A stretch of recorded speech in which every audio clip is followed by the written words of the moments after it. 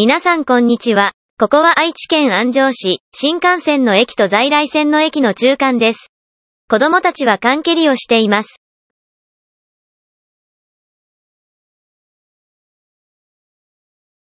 新幹線三河安城駅、南口です。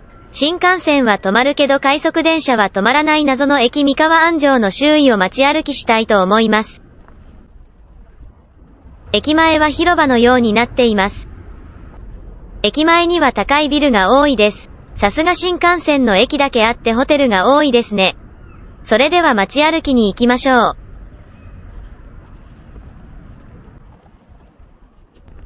安城市の文化を紹介しているみたいです。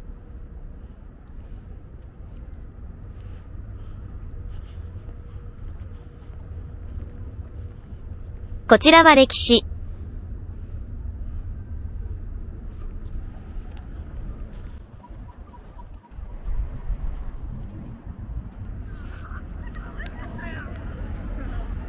三河安城駅の周囲には特に観光できるところはなさそうです。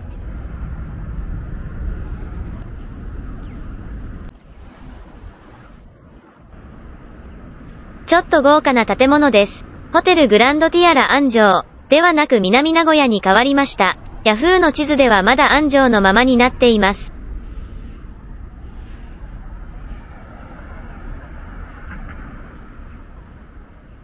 名古屋の観光総裁業ネクストにより創業、2022年、北海道を中心にホテル業を営む、リオホテルズグループに移りました。その際名前も変わったようです。やはり全国区の名古屋を使った方が集客に有利なんでしょうか？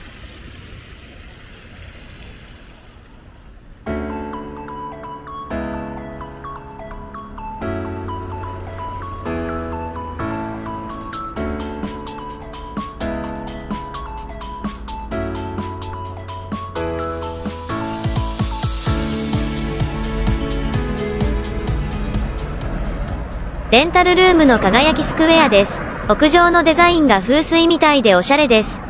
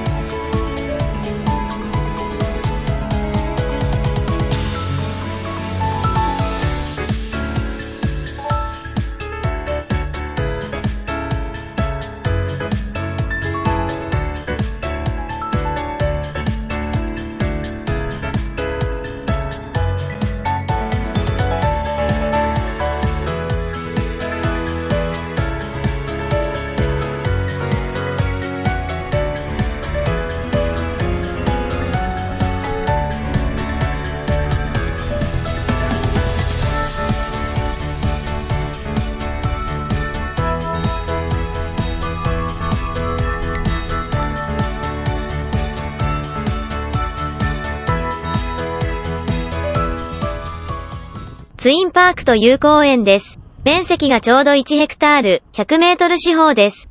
ここで地元の女性に声をかけられました。正直に YouTube の撮影をしていると言いました。